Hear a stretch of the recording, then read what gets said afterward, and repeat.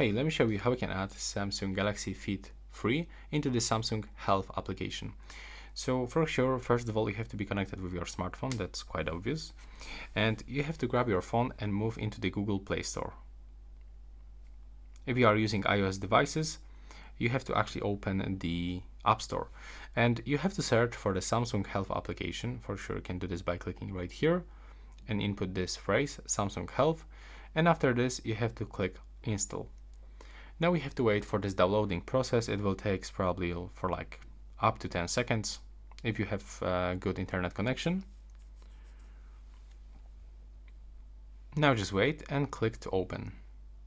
From this we have to click to sign in and in the most cases it will actually use the same account that we are using with the Galaxy wearable application, this one.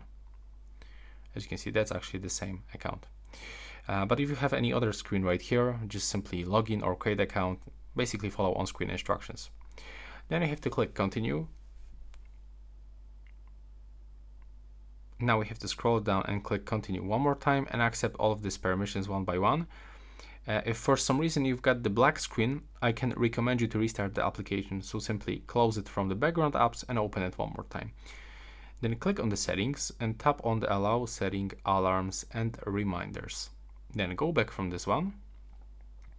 And uh, as you can see right now, it looks like we are successfully connected.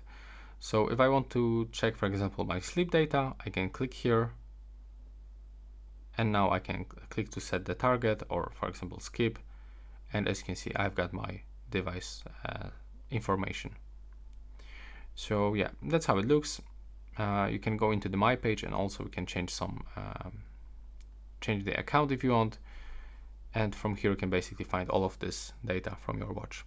So that's how it looks. Right now please subscribe